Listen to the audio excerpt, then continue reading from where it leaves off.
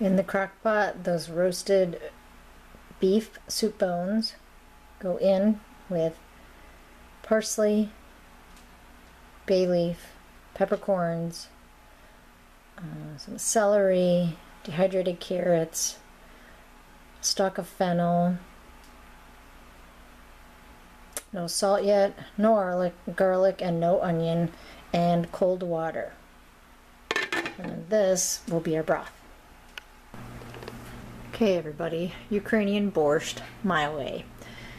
Last night I did roasted the soup bones, put them in this crock pot. It's a seven quart crock pot full of water with um, all the additives I did that I showed you earlier. Today, I don't know if you can see, this was a really big bone and there's some pretty nice meat in here. When this cools down a little, I'll go through all this meat and the meat will go back in the soup. This is what I strained out. And um, there's the broth. I'll let it cool down a little, get some of the fat out, and show you what's up next. Alright, I took all the meat off the soup bones. That's a pretty good amount of meat for two soup bones. It's good stuff too. And in here, as I will cut these up, the ingredients for this are the beef broth, cabbage, I'm putting in a sweet potato. Recipe calls for one medium potato per person. Mm, I don't know how many servings we're going to get out of the whole pot, but carrots, these are left over from the farm. Carrots, and then here, these beets, this is rutabaga. These were in the freezer. About a teaspoon and a half of salt, maybe half a teaspoon of coarse ground pepper, not a lot because I put peppercorns in the stock, quarter cup of dill, three tablespoons of sugar, and a half a cup of vinegar. I have probably half and half with apple cider and white. And I will be putting in chopped tomatoes. Again, there are no onions and no garlic in our version.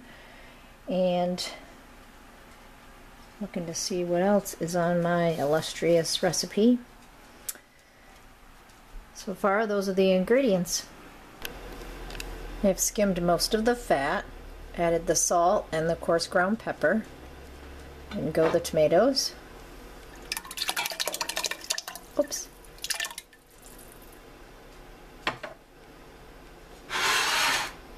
I'm going to put you down because I got to dump all these veggies in. Okay, in the pot, carrots, potatoes, tomatoes, rutabagas, sweet potatoes. Did I say potato? Okay, all that's going in till they're half done, till the veggies are half tender, and then I'm going to add the beets. The beets have been um, cooked and frozen, and I don't want them to get too soggy. They have great flavor, but I don't want to wreck the soup. And then after that, the vinegar, the dill, the sugar, and the cabbage go in. But let's get these half tender first. Okay everybody, the vegetables are about half tender. I've stabbed them. Uh, let's see, 36 minutes. Mm.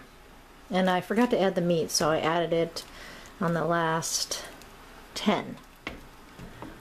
So that meat went back in and now we're going to add the beets.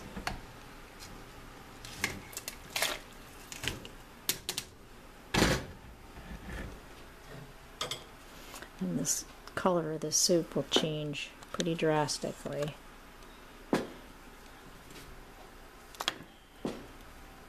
Like, I'm seeing almost immediately. I don't know about you.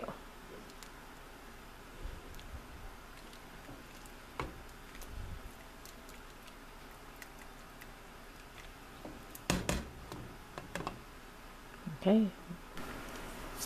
Okay, everybody. Veggies are done. Now, uh, we add the cabbage, dillweed, vinegar, and sugar.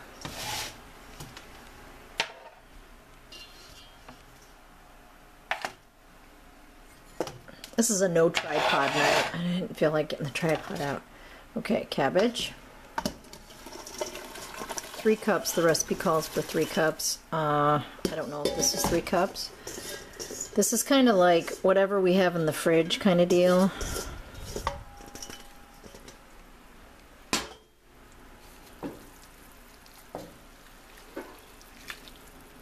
Uh, we have cabbage from the farm, sweet potatoes, beets are last year's beets, rutabaga are from another family farm. Okay, cabbage, dillweed, one quarter cup. Vinegar, half a cup. Sugar, three tablespoons.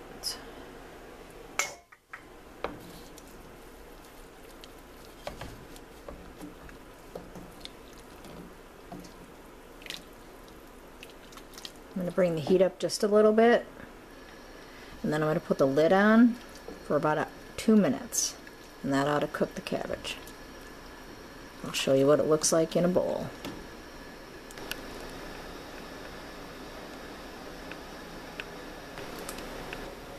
Guess what time it is? It's time to try my version of Ukrainian borscht. If you ask anybody what their version is, it's going to be different. This recipe is not the same for everyone who makes it or for every person in the Ukraine. Let's see. And with stews and soups, tomorrow this will be much better than it is tonight. But I'm hungry.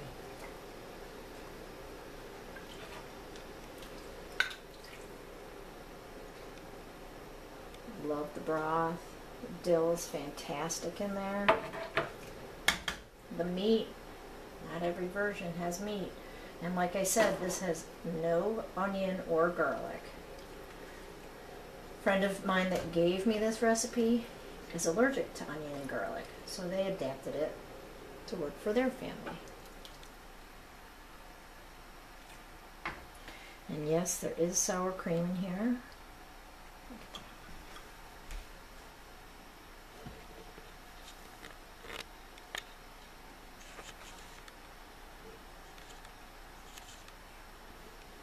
All right, I'm going to tell you what I think.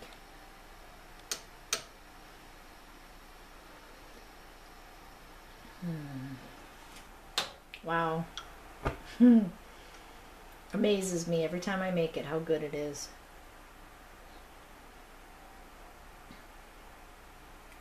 Beet, gotta have a beet.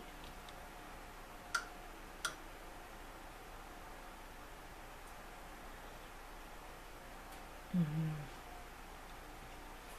I love that earthy red beet taste. A little bit of crunch cabbage on the meat. Ah. I just can't beat a yummy borscht. Thanks for watching. Hope you try it.